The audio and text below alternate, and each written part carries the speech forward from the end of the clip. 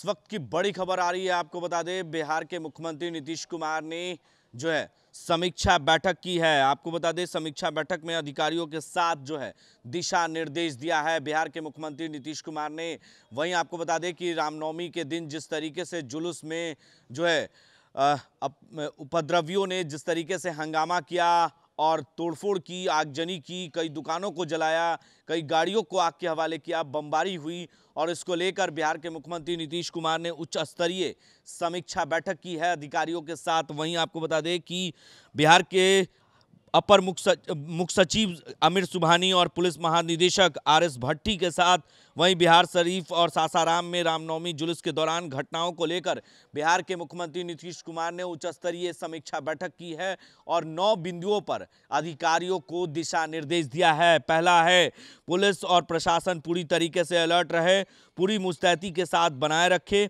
वहीं उपद्रवियों की पहचान कर उप उन पर सख्त से सख्त कार्रवाई करे और किसी भी परिस्थिति में कोई भी गड़बड़ी ना कर पाए। इस पर नज़र रखे। वहीं विधि व्यवस्था पूरी तरीके से मेंटेन रखें। अफवाहों फैलाने वाले पर नज़र रखें। मुख्य सचिव और पुलिस महानिदेशक सभी जिला के जिला अधिकारी एवं पुलिस महानिदेशक अधीक्षक से वीडियो कॉन्फ्रेंसिंग के माध्यम से अविलंब वार्ता कर उनकी स्थिति की पूरी जानकारी लें। वहीं प्रेस वार्ता कर मीडिया प्रस्तुत मीडिया को जानकारी दें, वहीं ताकि अफवाह फैलाने वाले पर भ्रमित कर, ना कर पाए। वहीं बिहार के मुख्यमंत्री नीतीश कुमार ने ये तमाम बिंदुओं पर अपने अधिकारियों को दिशा निर्देश दे दिया है।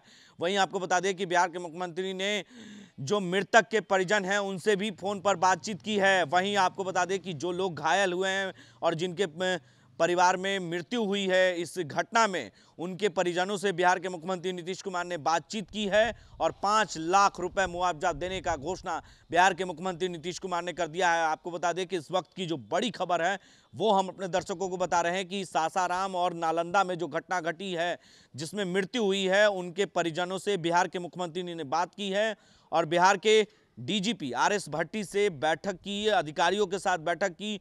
पुलिस महानिदेशक के साथ और मुख्य सचिव अमीर सुभानी के साथ बैठक की और उसके बाद जो है मीडिया को जानकारी देने को दिशा निर्देश दे दिया है। मुख्यमंत्री ने कहा है कि मीडिया को जानकारी दे, पूरे विस्तार से आखिर इस तरह की घटना क्यों हुई, इस पर पूरे विस्तार से जानकारी दें और जो मृतक के परिजनों को पाँच लाख रुपए मुआवजा देने का घोषणा बिहार के मुख्यमंत्री ने कर दिया है। तो इस वक्त की जो बड़ी खबर है, वो हम अपने दर्शकों को बता रहे हैं। आपको बता दें कि रामनवमी के दिन नालंदा और सासाराम में जो घटनाएँ घटी, उसको लेकर बिहार के मुख्यमंत्री ने बड़ा एक्शन लिया है और उच्च स्तरीय बैठक कर दिशा निर्देश दे दिया है और उनके परिजनों को पाँच लाख रुपए, मृतक के परिजनों को पाँच लाख रुपए की घोषणा भी बिहार के मुख्यमंत्री ने कर दिया। अपने सहयोगी कैमरामैन अमित के साथ बने रहे दस न्यूज़ के लिए और देखते रहे आशीर्वाद इजी कॉन ग्रुप भरोसे का दूसरा नाम। हम सिर्फ़ घर नहीं, खुशियाँ भी बनाते हैं। आशीर्वाद रोज वैली, जिसमें है premium flats with all modern amenities Patna में लेना चाहते हैं अपने सपनों का आशियाना तो कीजिए हमारे इन नंबरों पर संपर्क।